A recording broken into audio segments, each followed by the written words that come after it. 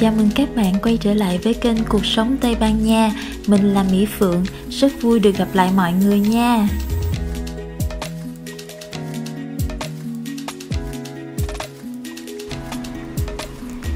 Bây giờ tụi mình hãy cùng bắt đầu một ngày mới nào.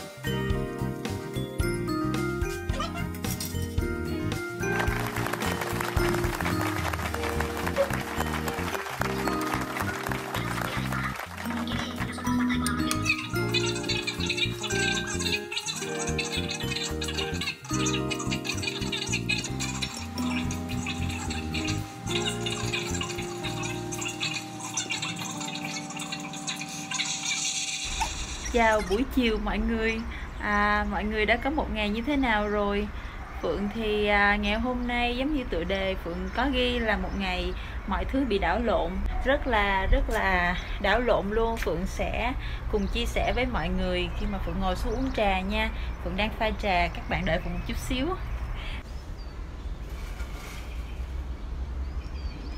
Chào các bạn, chào mừng các bạn đã quay trở lại với kênh Cuộc sống Tây Ban Nha. Hôm nay là một ngày mà cuộc sống của tụi Phượng bị đảo lộn là do gia đình bạn Phượng có người phải vừa nhập viện tối hôm qua.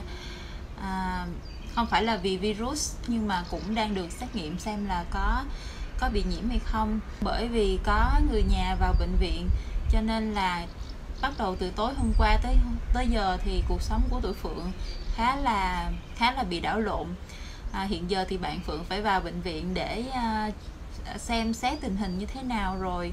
À, và Phượng thì ở nhà. Sáng nay thì các bạn cũng thấy là tụi Phượng ăn một bữa ăn sáng rất là rất là à, nặng à, so với bình thường. À, bởi vì tụi phượng cần nạp năng lượng và à, sáng nay thì à, tụi phượng thức dậy rất là sớm ăn sáng rất là sớm và cũng ăn trưa rất là sớm, tranh thủ làm mọi thứ. Bạn phượng phải làm việc trước khi ờ, trước khi đi đến bệnh viện. Cho nên là mọi thứ nó rất là, nó rất là hối hả sáng nay. Nói chung là khi mà có người nhà ờ, phải vào viện trong thời gian này là một cái việc rất là khó khăn với mọi người. Và ngoài cái bệnh tình bình thường của mình, thì mình còn phải lo là vào bệnh viện có thể sẽ bị ờ, nhiễm virus hoặc là có thể là có nguy cơ. Và ngay cả bạn phượng đi chăm bệnh thì phượng cũng lo là bạn phượng sẽ có thể bị à, có có nguy cơ nhiễm virus.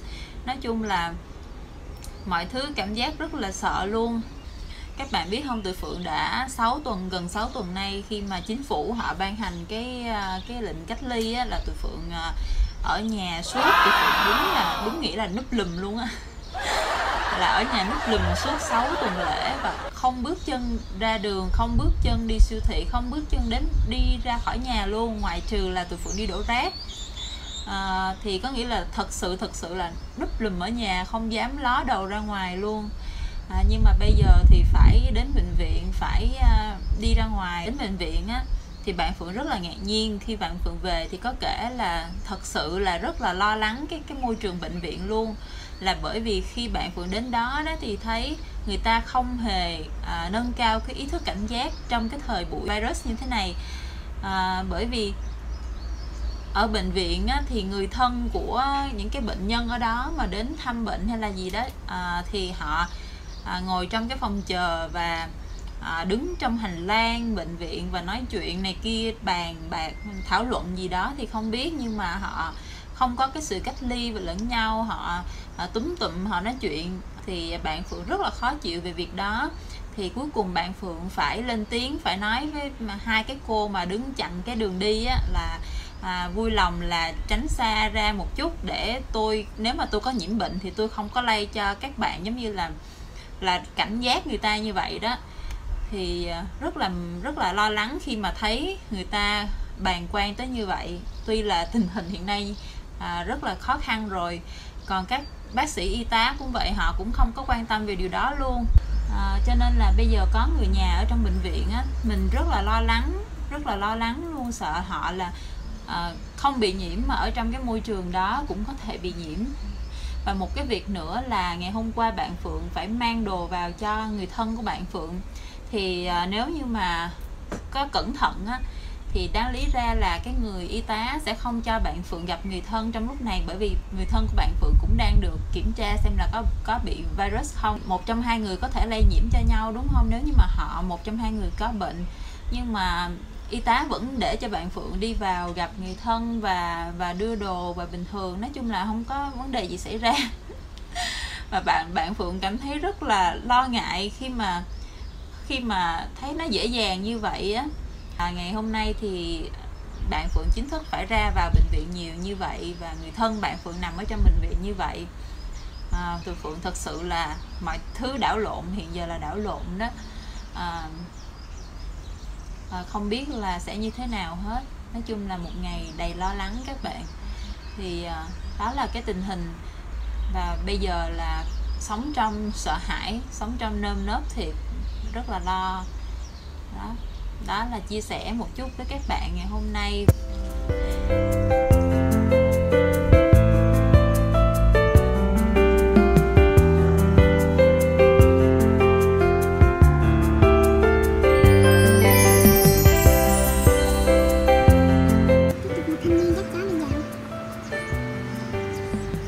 Bạn này có mang găng tay và khẩu trang đầy đủ nè.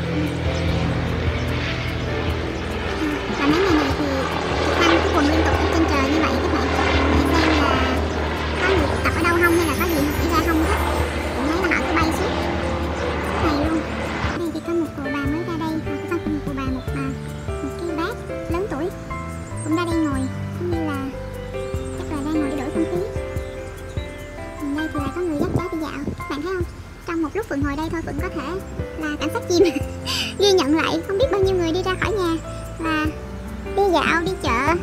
À, Phượng nghĩ là trong số đó cũng có nhiều người à, lấy cớ đi chợ để mà đi ra ngoài á. Đó. À, nói chung là người ta đi ra đường nhiều lắm. Dĩ nhiên là không nhiều như bình thường nhưng mà đây là nhiều hơn những cái tuần cách ly trước rất là nhiều. À chắc là bác này mới đi chợ về bạn ngồi nghỉ bây giờ đi về nhà đây. Hôm nay tiếp tục một thanh niên đi dạo với chó. À, phượng tức quá phượng không quay kịp. Cái nhóm người này đi ba bốn người luôn các bạn nói chuyện vui cười phấn khích. Không biết là đi shopping hay đi gì nữa nhưng mà à, là thêm một bạn trẻ xuất hiện. À, chắc đi mua đồ hả? Thì đó ba bốn người đi chung không thấy mang khẩu trang cũng không thấy mang găng tay luôn. Đó, các bạn thấy không? Ừ, có rất là nhiều người ý thức rất là kỳ cục. Còn đây là bạn cho cháu đi dạo tiếp theo. Rất là nhiều cháu được đi dạo lúc này thì phượng mới quay cho các bạn xem cái hình ảnh của mọi người đang ở dưới à, ở dưới đường à, dưới sân nhà phượng thôi. Thì các bạn cũng thấy đó hôm nay à, mọi người ra đường liên tục liên tục. Và nếu mà phượng có thời gian mà đứng đó quay thì có thể đếm được là không biết là bao nhiêu người đi ra đường lúc này luôn á. Rất là nhiều luôn cứ vừa mới quay qua định tắt máy thì lại có một người mới xuất hiện. À, cứ liên tục như vậy trong ngày à, các tuần trước thì không nhiều tới như vậy đâu các bạn nhưng mà hiện giờ phượng nghĩ là người ta đi làm rồi người ta à, nhiều người thì người ta thấy là tình hình bệnh à, bệnh dịch ở tây ban nha đã tốt hơn rồi cho nên là người ta cảm thấy thoải mái hơn để đi ra ngoài á. À, phượng cũng không rõ nữa. Thật sự là phượng nhìn người ta dưới đường phượng cũng xuống muốn xuống đường lắm. À, rất là muốn đi ra đường luôn á nhưng mà à, vẫn phải ráng ngồi nhà thêm à, nói chung là giữ an toàn cho cộng đồng. À, mình hy vọng là cái đó nó một chút nào đó mình giúp ích cho cộng đồng. Chứ à, chứ thật sự là cũng bất bí lắm cũng rất là muốn đi xuống dưới đi lại các bạn. Bữa giờ phượng ủ mưu phượng ủ mưu đi lại ở dưới sân không biết bao nhiêu lần rồi nhưng mà vẫn à, chưa đi được chưa đi được. Rất là mệt mỏi thì phượng nghĩ chắc mọi người cũng như vậy ha. Chắc mọi người cũng đang bức bí lắm. À, tin tức cập nhật hôm nay thì người ta sẽ cho trẻ em dưới 14 tuổi được đi ra ngoài phải đi cùng với người lớn. Không được đi ra ngoài bán kính 1 km từ nhà và không được đi quá ba trẻ em cùng người lớn và cũng ra ngoài trong vòng khoảng một tiếng đồng hồ trong ngày thôi. Thì như vậy cũng mừng rồi. Phượng sẽ dừng video ngày hôm nay tại đây. Mong chúc mọi người có một ngày bình an và có nhiều niềm vui nha. Chào tạm biệt và hẹn gặp lại. Bye!